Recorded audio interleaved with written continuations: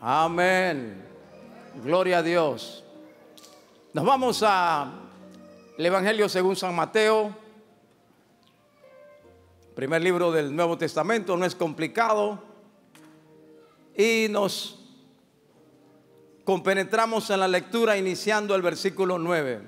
Mateo 9, 9. 99 y los números salen altos hoy. Misericordia. Ay, oh, no, Señor.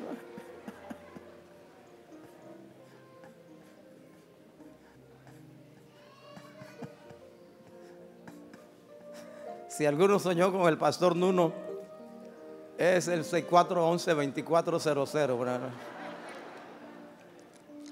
Mateo 9:9, en el nombre de Jesús. Pasando Jesús de allí, vio a un hombre llamado Mateo, que estaba sentado al banco de los tributos públicos, y le dijo, sígueme. Y se levantó y le siguió. Y aconteció que estando él sentado a la mesa en la casa, he aquí que muchos publicanos y pecadores que habían venido se sentaron juntamente a la mesa con Jesús y sus discípulos. Cuando vieron esto, los fariseos dijeron a los discípulos, ¿por qué come vuestro maestro con los publicanos y pecadores? Al oírlo, Jesús les dijo, los sanos no tienen necesidad de médico, sino los enfermos. Id pues y aprended lo que significa. Misericordia quiero y no sacrificio, porque no he venido a llamar a justos, sino a pecadores al arrepentimiento. Amén. Aleluya. Gloria a Dios. Vive Jesús. Hay jóvenes en la casa hoy. Que se sienta que hay jóvenes en la casa hoy. Amén. You may be sit down, please.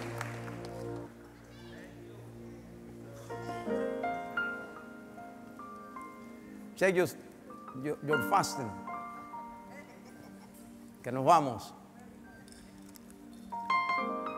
Is anybody here whose name is Matthew? ¿Hay alguien aquí que se llame Mateo? Bueno, usted ya está embarazada, hermana. Ese es un buen, bonito nombre para ese bebé.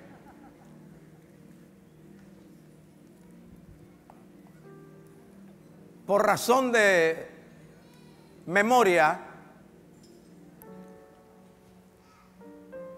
y para ser un poco extravagante, porque así a veces las cosas se recuerdan mejor, hoy hablaremos de un nuevo comienzo para la pluma. Jesus Christ. Un nuevo comienzo para la pluma. Amén.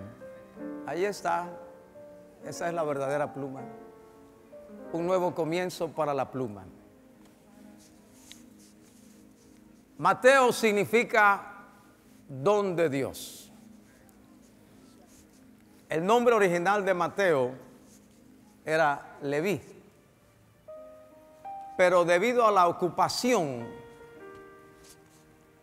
era muy vergonzoso llamar a un publicano Leví, porque Leví significa un descendiente de la tribu de Leví, precisamente, la tribu sacerdotal. Así que Mateo adopta un nombre para, siendo que su ocupación era publicano,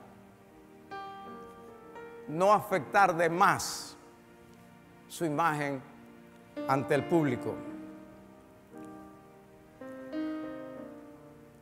Como nuestro tiempo es breve, en esta primera parte de la palabra de Dios, dedicaré los minutos a meditar en tres palabras. sobre este nuevo comienzo.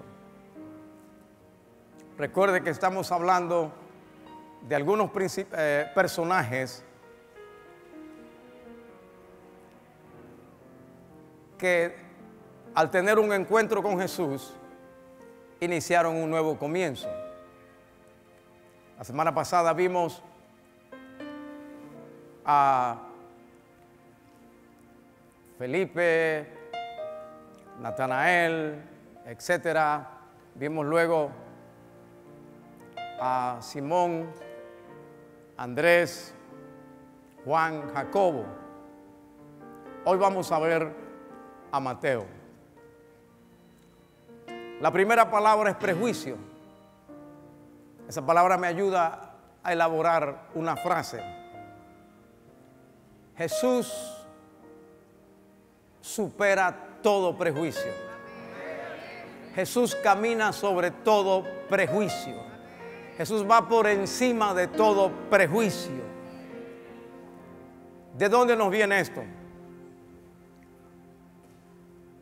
Cuando Jesús se encuentra con Mateo, le dice, sígueme, y Mateo inicia su caminar con Jesús. Le hace luego un banquete al Señor. Y en el banquete, sus amistades, todos provienen del mismo círculo, publicanos y pecadores, son los que le rodean.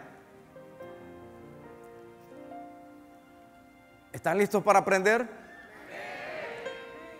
Y en la cultura judía, más en los días de Jesús, un verdadero judío, un, judío, pudiéramos decir, ortodoxo, un judío que respetara su tradición, nunca se acercaba ni a un publicano ni a un pecador.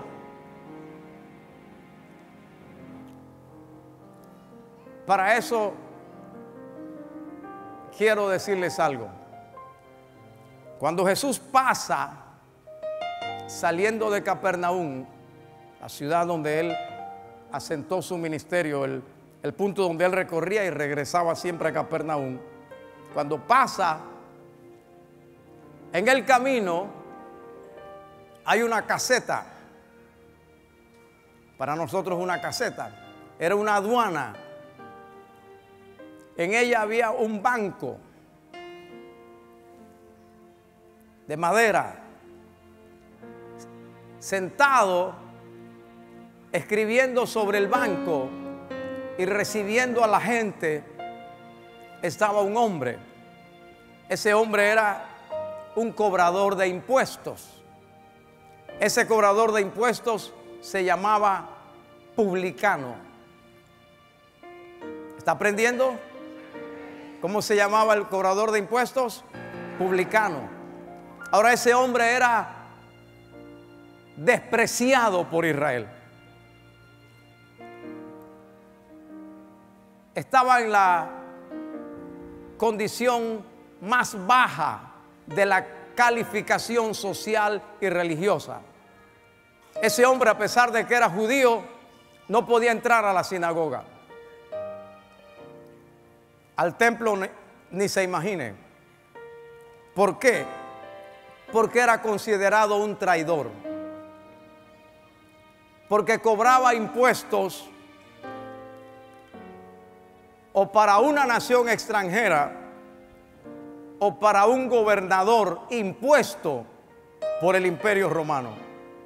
Él cobraba los impuestos la mayoría de las veces para el imperio romano y si el imperio le había dado cierta autonomía a la región, como era el caso de Galilea, Herodes tetrarca, que era el, el gobernador impuesto por Roma, le daba autoridad para cobrar impuestos. En aquellos días,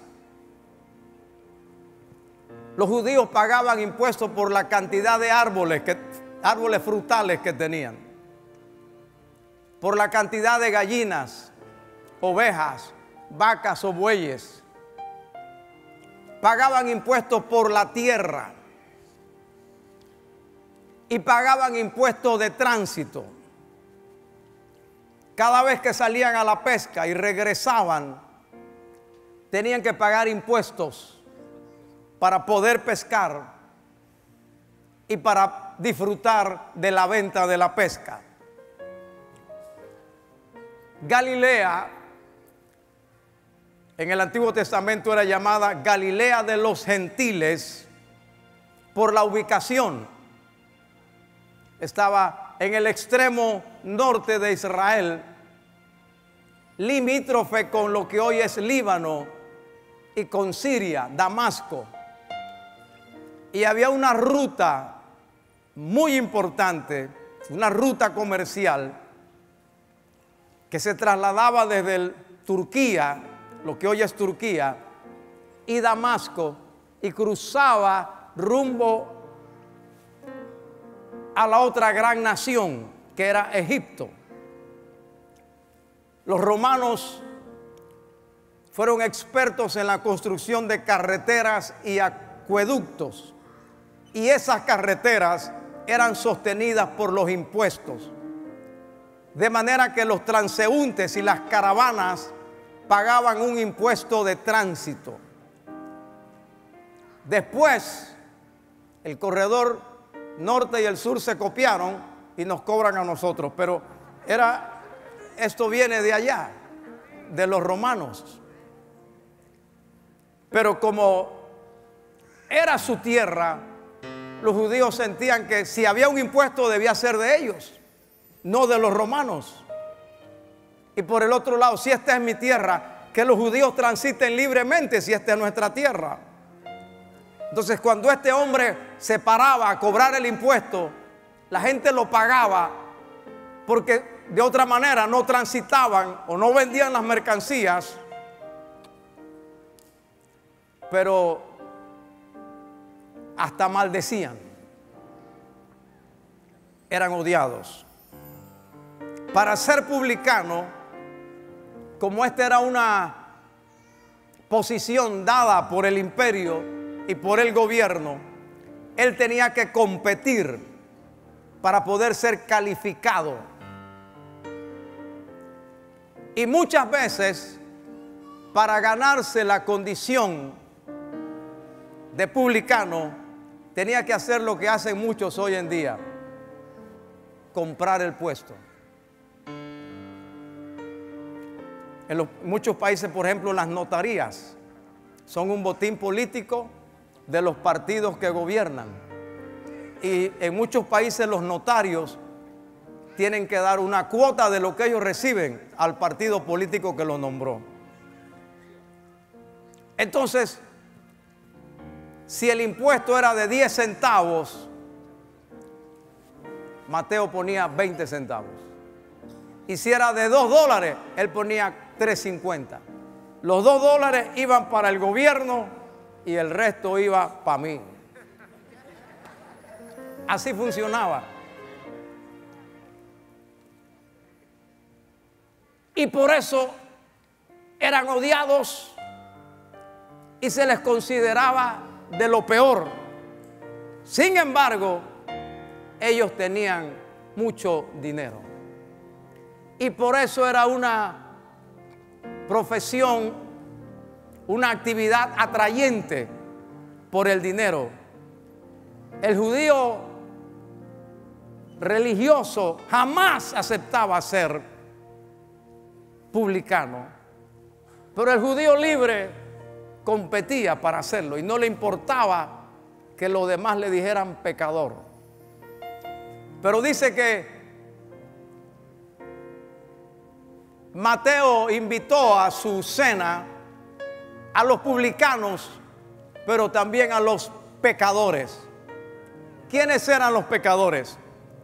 Los pecadores no eran lo que nosotros tenemos como concepto de pecador hoy. Le voy a dar un ejemplo.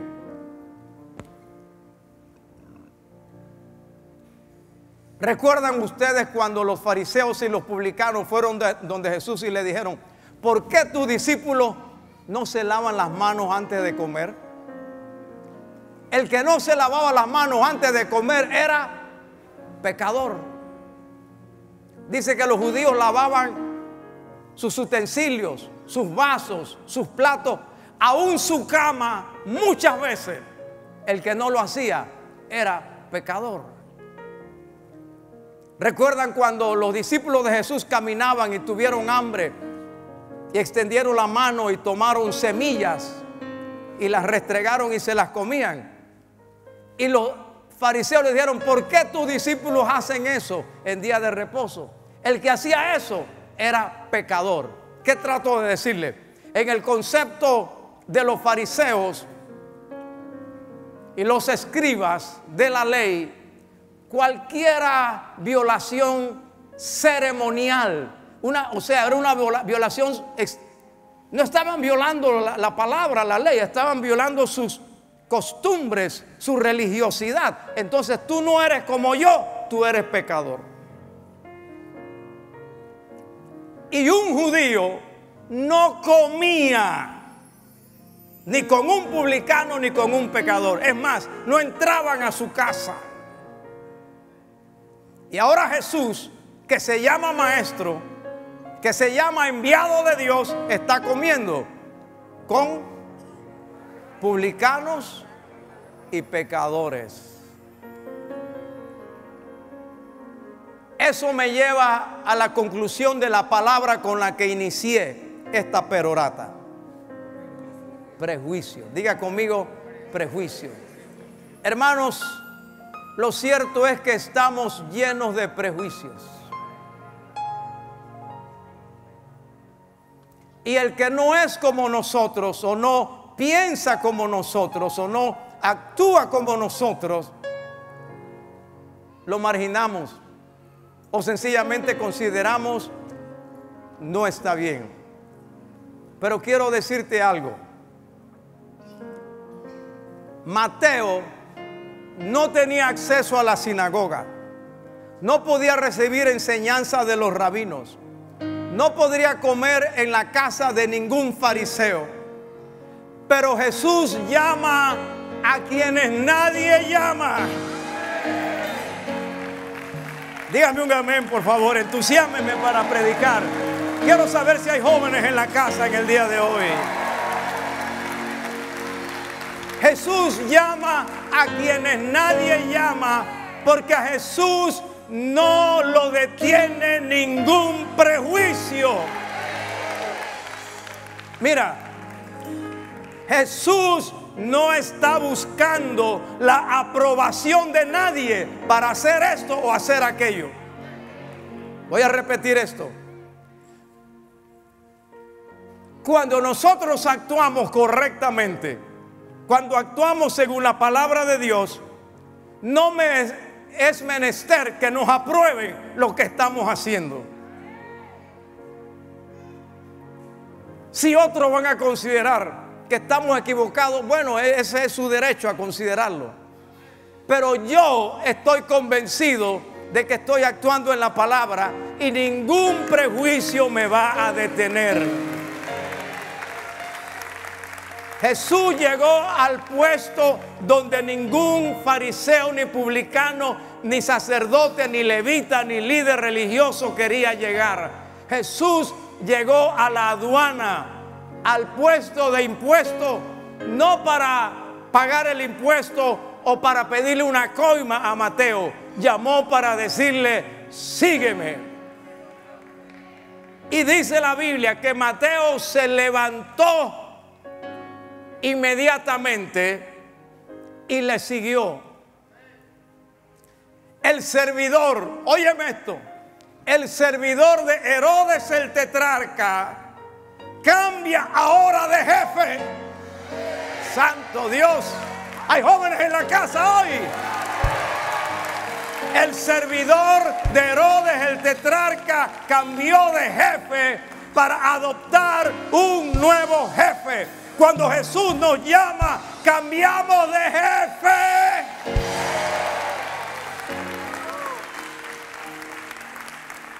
Y aquí están los publicanos despreciados y despreciables. pero ahora en banquete.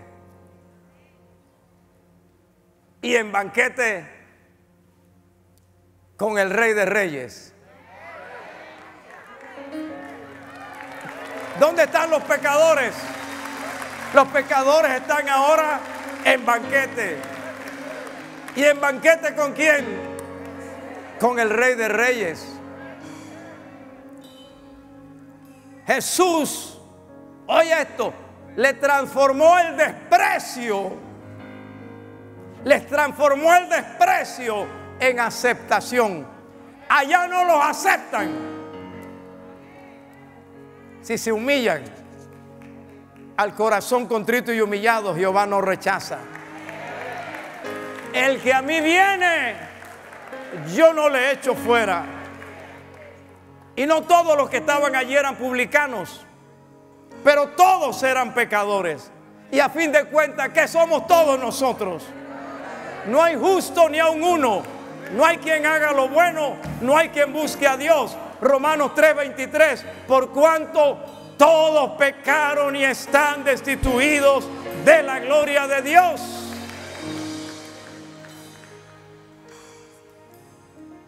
Eso encendió la cólera y la crítica de los fariseos. Tal vez era verano. Y el verano caluroso de Israel, sobre todo Galilea, que queda al nivel del mar, hacía que estas comidas fueran abiertas. Se abrían las ventanas, se abrían todas las puertas. Y tal vez mi imaginación me hace pensar que los fariseos llegaron así por la ventana. No entraron, pero querían ver ese que dice que es maestro, cómo se va a unir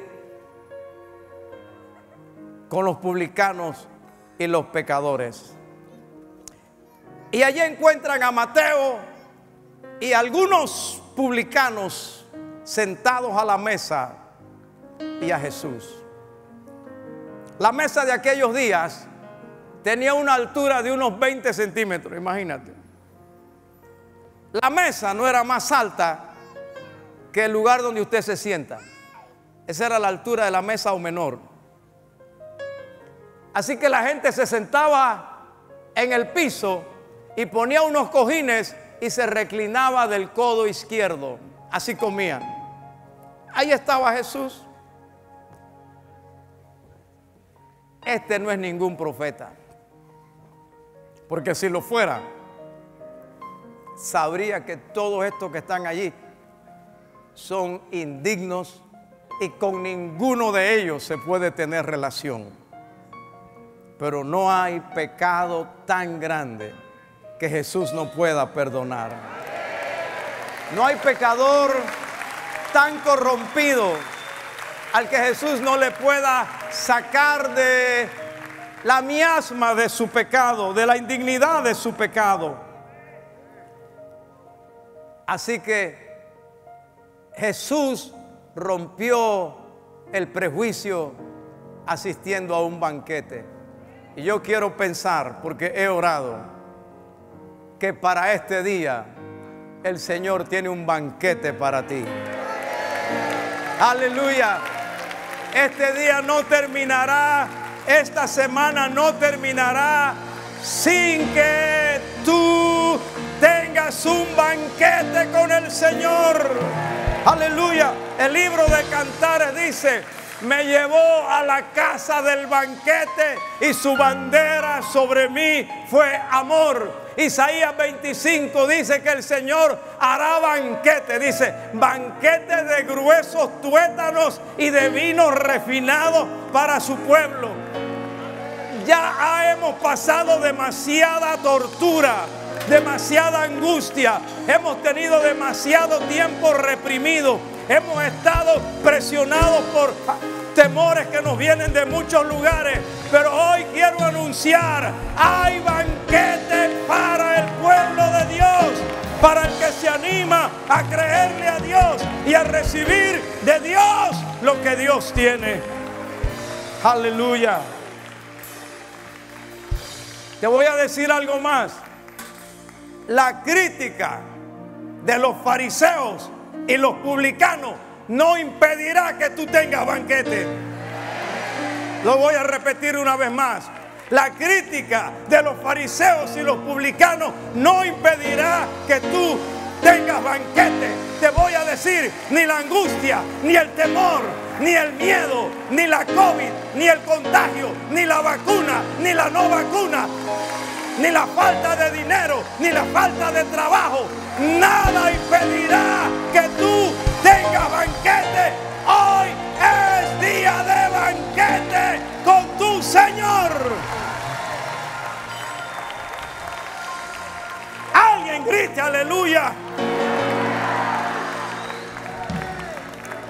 La segunda palabra es la palabra sígueme. Regresamos al escenario. Va Jesús, se desvía del camino y llega a la aduana. Ahí está la caseta. Ahí está Mateo escribiendo. Y a lo mejor piensa, este viene a pagar impuestos. Pero cuando lo ve sencillamente le dice, sígueme. Oh, ¿Qué autoridad tiene el Señor? Sígueme. La segunda lección es esta. Jesús exige una respuesta a su llamado. La primera es, Jesús camina sobre todo prejuicio. La segunda es, Jesús exige una respuesta a su llamado. Todo el que oye de Jesús tiene que responder. Porque todo el que oye de Jesús está siendo llamado por el Señor.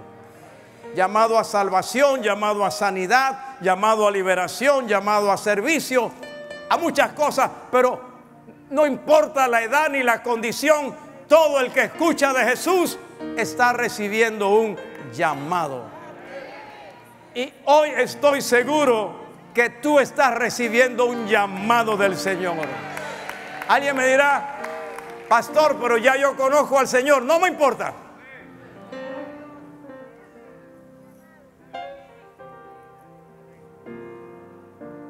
Sígueme. Hay varias ocasiones en la Biblia donde Jesús usó esta expresión. Vio a alguien y le dijo, sígueme.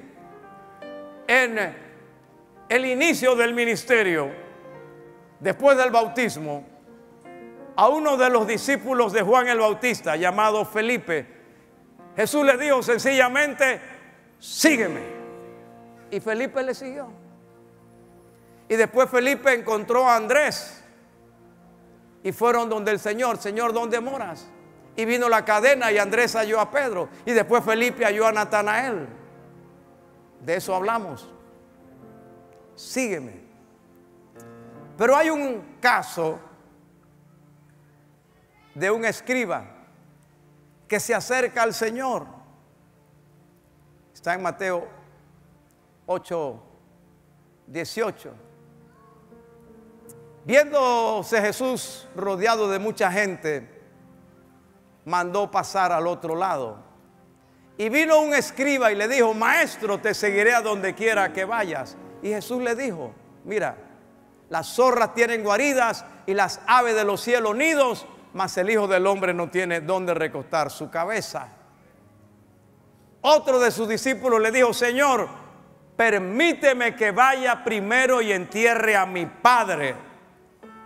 Jesús le dijo, sígueme, deja que los muertos entierren a sus muertos. Cuando Jesús te dice, sígueme, tú vas a responder de alguna manera, pero Jesús va a exigir una respuesta. De la respuesta que demos depende nuestro futuro. Ay, esto es poderoso. Esto es poderoso. Esto es poderoso. De la respuesta que demos dependerá nuestro futuro. Este estaba diciendo, deja primero que entierre que se murió mi papá, no sé qué. Bueno,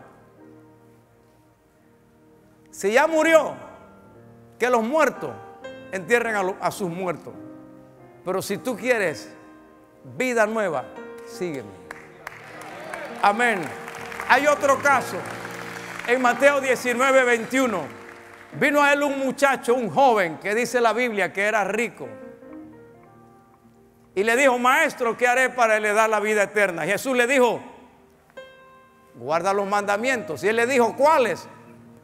No robarás, no matarás, no hurtarás, no tendrás la mujer de tu prójimo. Honra padre y madre. Y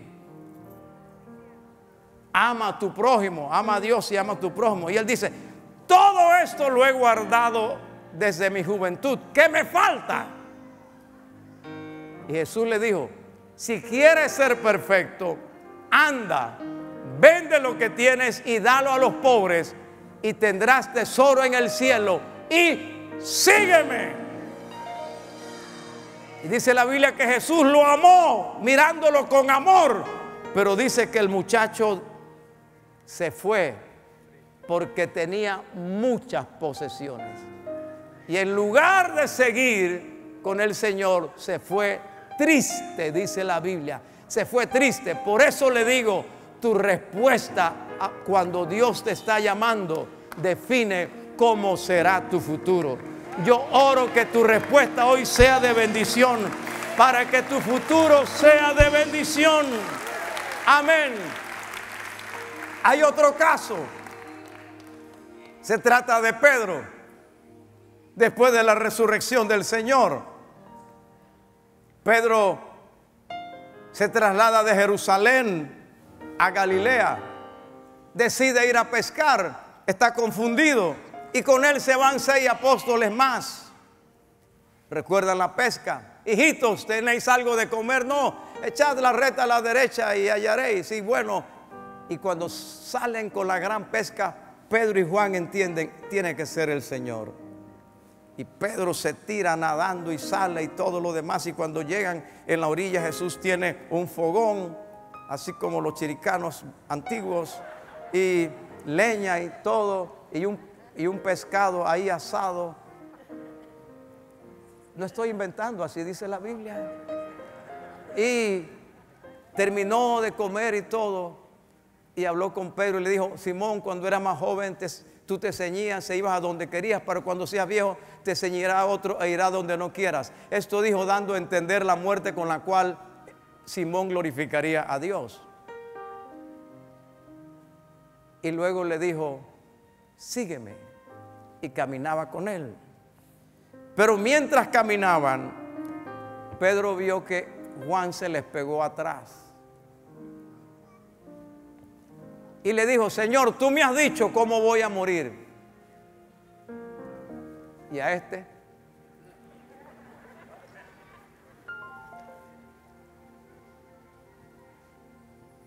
Y Jesús le responde, y si a mí me da la gana, que Él se quede vivo hasta que yo regrese, ¿a ti qué te importa? La Biblia lo traduce muy amablemente. Si yo quiero que Él viva hasta que yo vuelva, ¿qué a ti? Pero en realidad le estaba diciendo, ¿por qué te metes en la vida de otro? Cuando Dios te llama, te llama a ti. Y uno no tiene que andar interfiriendo en el llamado de otro, ni puedes vivir la vida comparándote con el llamado de otro.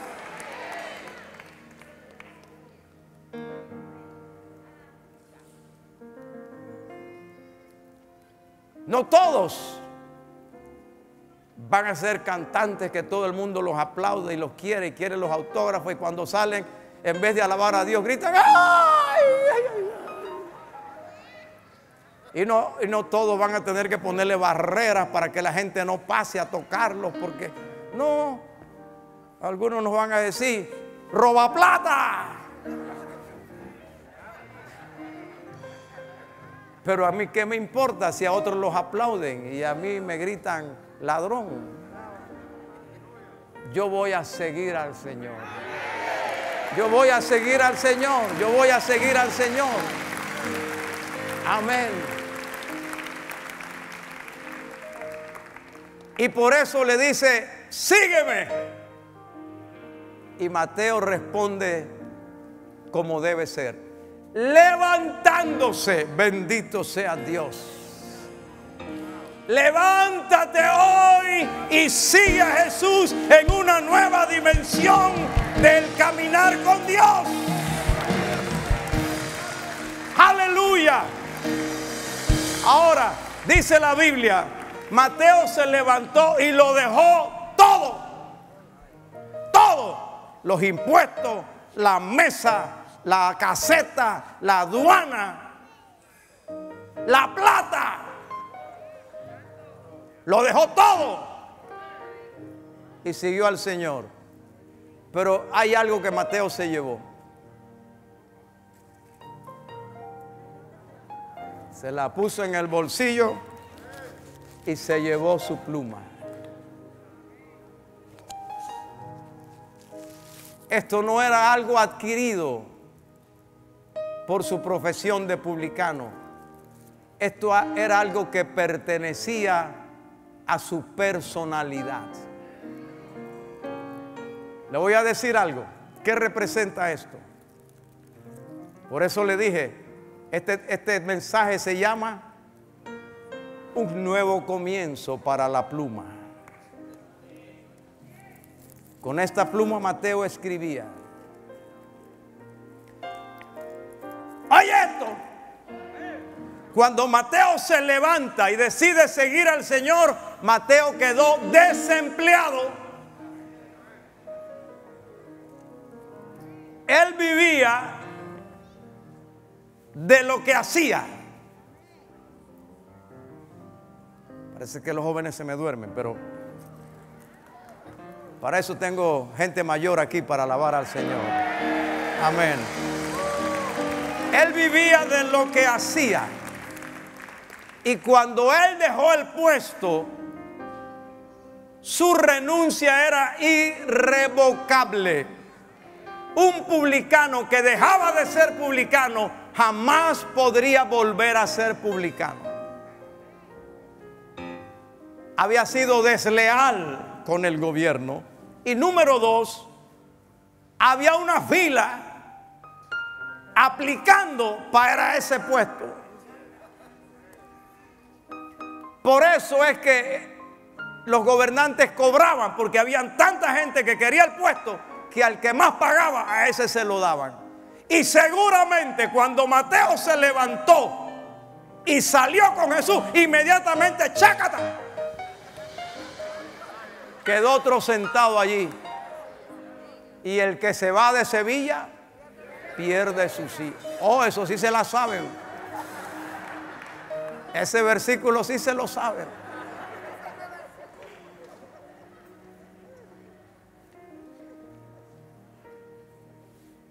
Mateo llega, hace el banquete, pero también invita a los discípulos de Jesús. Entre los discípulos de Jesús está Pedro, Andrés, Juan, Jacobo. Ellos eran, sí, pero ¿cuál era su trabajo antes de seguir a Cristo? Pescadores. Si un día Mateo decían, decidía no seguir al Señor, iba a pescar otra vez. Su papá todavía tenía las barcas y las redes. Me estoy haciendo entender. Si Andrés o Juan o Jacobo o Natanael o el otro querían volver a pescar, sencillamente regresaban. Si Mateo quería volver, no había puesto para él. Pero él se llevó la pluma. Llamado exige un cambio. Ayúdenme para ver si despiertan a los jóvenes. Todo llamado exige un cambio. Gracias. Cuando Dios te da una palabra o te, te dice algo, No podemos seguir siendo iguales porque de nuestra respuesta depende nuestro futuro. Y así como les he dicho que Dios tiene un banquete seguramente para cada uno, ese banquete depende de si yo acepto algún cambio que Dios le está pidiendo a mi vida. Y el cambio de Mateo fue dramático. A tal grado que él hizo un banquete de despedida. Así como usted hace un banquete de despedida de soltero y de soltera. Él hizo un banquete de despedida con sus colegas. Porque todo llamado representa un nuevo destino. Alabado sea Dios. Todo llamado representa un nuevo destino. Jesús no te va a llamar para una tontería.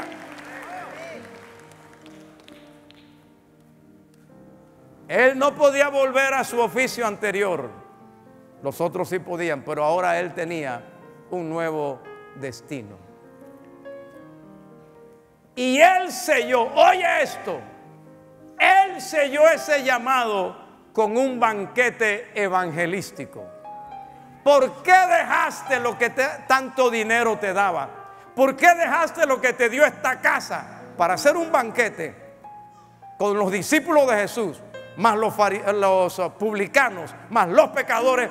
Esa tenía que ser una mansa casa. Esa no era una choza. ¿Por qué dejaste todo esto? Vengan y les voy a explicar. Cuando te cuestionen y te pregunten, dile, dame una oportunidad, que el que lo hizo conmigo quiere hablar contigo también. El que lo hizo conmigo quiere hablar contigo también. Y Mateo deja todo allá, pero se lleva la pluma. Termino con esto talentos. Diga conmigo, talentos. Diga otra vez, talentos. Número uno, Jesús camina sobre todo prejuicio. Número dos, sígueme. Jesús exige una respuesta a su llamado. Número tres, talento. Oye esto, Jesús utiliza tus talentos para el propósito para el que te llama. Jesús utiliza tus talentos para el propósito para el que te llama. Mira, estos hombres eran pescadores. Dice del vulgo y sin letras. Pedro, Andrés, Simón, Jacobo, Juan eran pescadores del vulgo y sin letras. Mateo no. Mateo era un hombre preparado. Mateo dominaba varios idiomas. Porque en la caravana venía gente de Siria, de Egipto, de Mesopotamia, de África, de Sirene. Y él no podía estar ahí que un leal, cinco leal.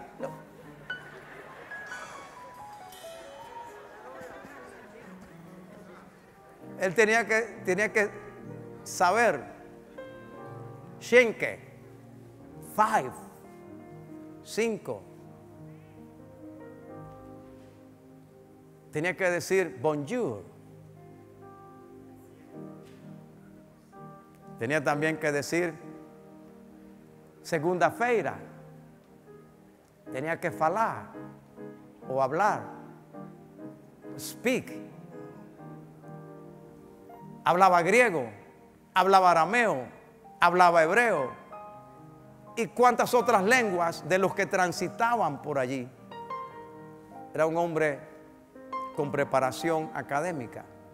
Segundo, era un hombre con preparación aritmética, porque él trabajaba con números. Tenía que multiplicar los impuestos de tantos árboles, de tantas gallinas, de tantos caballos, de del tamaño de la tierra y, y luego tenía que saber cuánto le daba al gobierno y cuánto se quedaba él. Manejaba los números y no tenía computadora como los muchachos de hoy que no saben ni restar, ni multiplicar, ni nada, porque todos lo buscan aquí ya.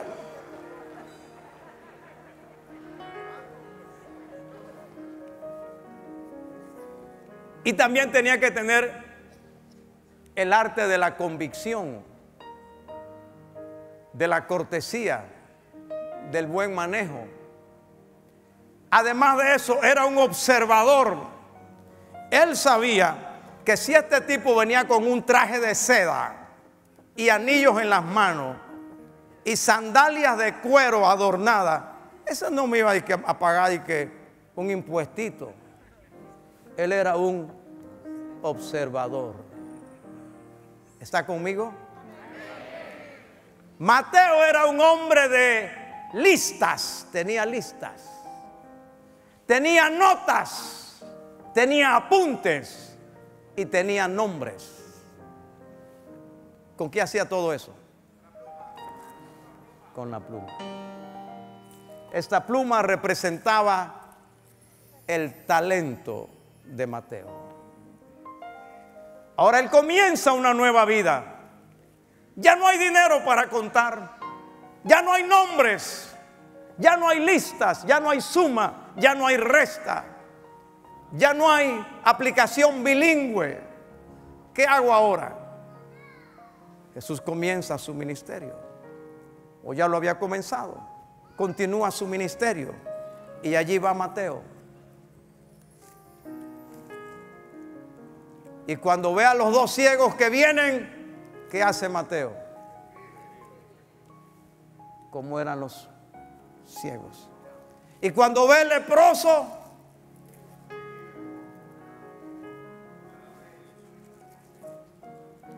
y cuando ve a la mujer con flujo de sangre, y cuando ve a Jairo, y en la noche cuando todos descansaban, Mateo revisaba sus notas. La pluma había tenido un nuevo comienzo. La pluma había tenido un nuevo comienzo. ¿Y qué es lo que tenemos de Mateo? El primer evangelio de la Biblia. La pluma que antes se usaba para el pecado y la corrupción ahora está siendo utilizada para la gloria de Dios. Esta pluma nos dejó el Evangelio escrito directamente para los judíos. ¿Sabía usted que cada Evangelio en la Biblia tiene un destinatario? Mateo fue escrito para los judíos, Marcos para los romanos, Lucas para los gentiles, los griegos y Juan universal. Mateo quería que todo ese pueblo que le había rechazado por ser publicano conociera aquel a quien él se había entregado. Y para eso utilizó la pluma. Amén. Yo no sé si todos los hermanos que voy a mencionar están aquí porque todos tienen diversas condiciones, circunstancias. Eh, algunos sus esposas no los dejan madrugar, etcétera, y pues uno no, no sabe. Pero yo puedo ver aquí, por ejemplo, a Jíbaro. Les advierto, y espero que no se ofenda no es un ejemplo de santidad. No es un ejemplo de ayuno y oración y consagración. Pero toda la vida tuvo su pluma. Amén. Tuvo un encuentro con Jesús decidió obedecer cuando el Señor dijo, sígueme. Y dejó todo. Pero ¿qué trajo? ¿Qué es lo único que se quedó con él? Su cámara. Su cámara. Y cuando, cuando usted vea un video donde yo salgo montando caballo, yo no lo grabé. Cuando usted vea un video que yo salgo jalando a un toro y dominándolo, yo, yo, bueno, vea el video, vea el video. Yo no lo grabé. Cuando usted ve, me ve a mí dando la lección de Ezequiel con el agua en los codos, con el agua en los tobillos, cuando el agua en los lomos y luego sumergido, yo no lo grabé. Cuando usted me ve con la higuera que se secó, yo no lo grabé. Alguien escuchó la voz que dijo, sígueme, y se trajo su pluma. Y caminó para hacer una bendición. Yo no sé si aquí está el arquitecto Chérigo.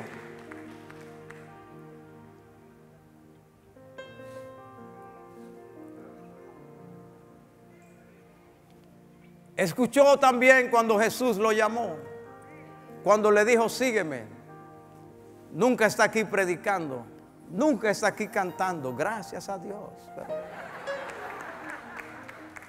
Pero, cuando en todos estos últimos años hemos necesitado un diseño para el campamento, para los lugares de nuestros renuevos, para algo del templo, para construir, para remodelar lo que hicimos en Silo. Él dejó todo, pero se trajo su pluma. Amén. Vengan los dos para acá. Yo no sé si aquí está la hermana Cherani, administradora de empresas, de empresas grandes. Manejaba mucho personal, mucho presupuesto, mucho dinero. Aprendió a ser de carácter, de respeto, de autoridad. Cuando habla, la gente sabe lo que dice exactamente y a dónde vamos dura, pero tierna. Cuando aceptó el llamado, dejó todo eso, que le granjeaba tremendas, tremendos ingresos y vino casi por nada y lo dejó todo. Pero ella se trajo su pluma para servir al Señor. Y yo puedo seguir hablando aquí de los médicos que nos ayudan con todas estas medidas de bioseguridad. La ingeniera Wally Peña, que fue la que diseñó todo esto para que el Ministerio de Salud nos los aprobara. Siguen en su actividad normal. Siguen trabajando para sostener su familia y el desarrollo de su profesión. Pero cuando le dijeron al Señor, yo sigo, Jesús les dijo, sígueme. Dejaron todo, pero se trajeron su pluma. Y aquí está mi hermana Yadira y su esposo. Y tenemos muchachos en eh, equipos deportivos en otro país que se los han llevado por su talento. Pero allá donde están, dejaron todo aquí, pero se llevaron su pluma. ¿Y sabe para qué la usan? para mandar una ofrenda especial y minutos y todo. Bendito sea Dios. Mi amado hermano, yo creo que me he extendido y con lo que he dicho es suficiente.